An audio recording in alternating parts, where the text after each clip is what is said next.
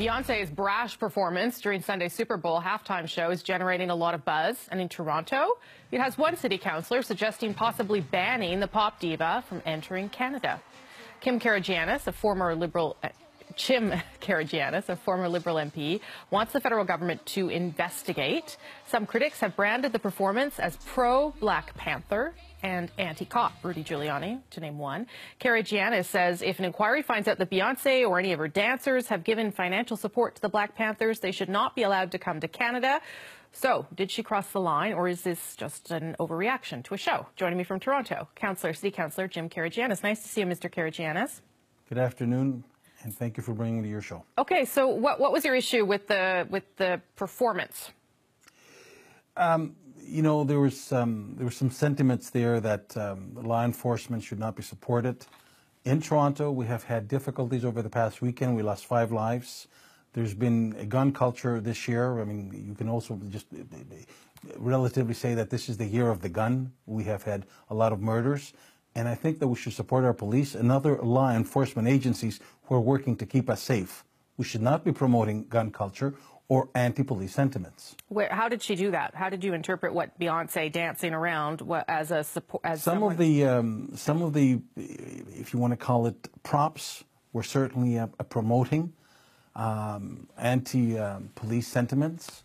Um, but again, I was asked the question. Yeah you know, should we ban her? And I said, if people feel that she shouldn't be welcome to Canada, uh, then the Minister of Citizenship and Immigration, John McCallum, has to make that call and that decision. Yeah, but you also said more than that. You said that that it should be investigated whether she in any way supports the Black Panthers. That she, she obviously alluded to the Black Panthers in that performance because it's the 50th you know, anniversary of the movement. There's there's two Black Panthers. There's yeah. the New Black uh, Panther Party that was founded in Dallas in 1989, and in, in this one it's not an official successor of the Black Panther uh, Party. The members of the original uh, Black Panthers, they're saying that there's no new Black Panthers. Uh, and then there's the Anti-Defamation League, the Southern Poverty Law Center, and the U.S. Commission on Civil Rights that are consider the new Black Panthers to be a hate group.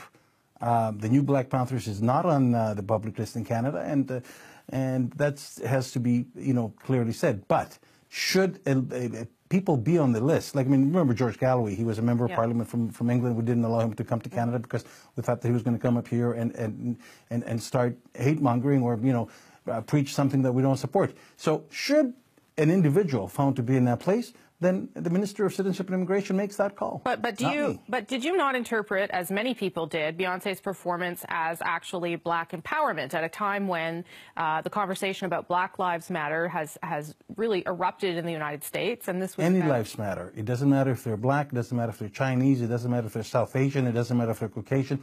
All lives matter, and then we need to work to make sure that everybody goes home at night and everybody is home when they go safe at night. Sure. And and you know, I mean we need to support our police force in Toronto in order to make sure that people get home when the week. I mean, uh, you know, get home at nights. When I have five individuals, when we have in our hands five individuals across the Greater Toronto, uh, you know, area that were killed, that certainly needs something to be supported. The the the men and women of the police forces in the GTA need to be supported. Yeah, and I'm not disputing that the police should be supported in their work or that anyone should be happy that people are being killed, but I'm asking you if you think Beyonce is somehow contributing to that conversation or to those things happening.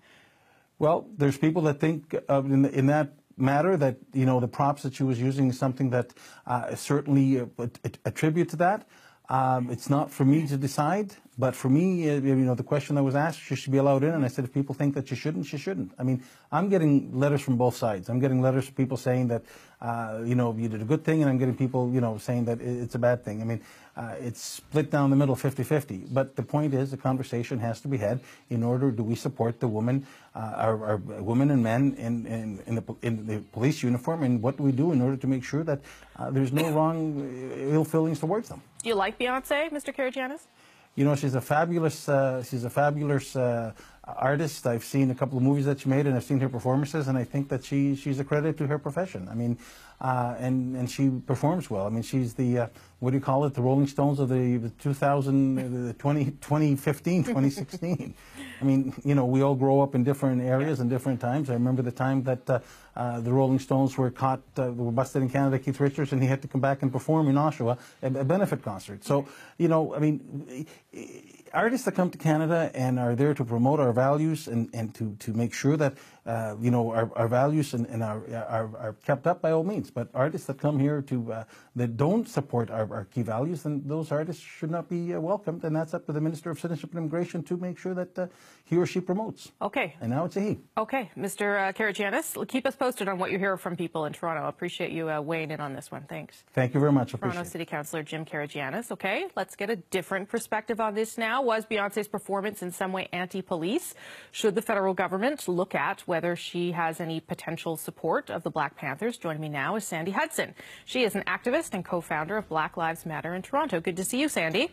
Good to see you. So well, what, I can't see you. Yeah, you get it. What do, what do you make of what Mr. Karygiannis had to say there? And I, I, should point out he's not he's not alone in those statements. Rudy Giuliani said that he also found the performance anti-cop in large part because of the bullets that Beyonce was wearing across her. What, what did you make of it?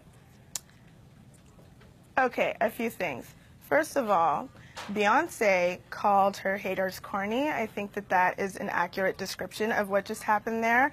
Uh, I, first of all, and secondly, I just want to say that white punk kids have been wearing bullets as a fashion statement for a really long time, and nobody said anything. Beyonce was shouting out Michael Jackson, uh, an old uh, item of clothing that Michael Jackson had worn previously at a halftime show. I cannot believe what I just heard.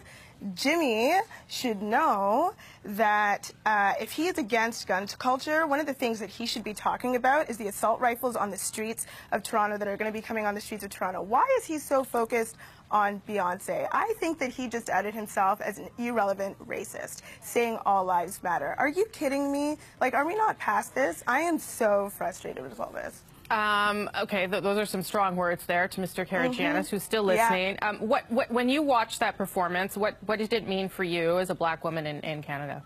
Look, she was saying that she loves her hair, that she loves her nose. What is so threatening about that to Canadians? That this man wants to ban her from Canada. Well, to, to be fair, to be fair, to be fair, Sandy, he didn't say he wanted to ban her. He said he wanted to listen to what people said, uh, and if they were offended by it, right. he said yeah. he said he wanted to ban her, but then politicked his way out of it. That's what he did. I get it. I get it. No, what he's saying is that black people, black women should be policed uh, more than anybody else in the society. Under what grounds would she be banned? Like, I see that he did some Wikipedia looking up of different black organizations, but what he should be focused on is what black people in Toronto are going through right now.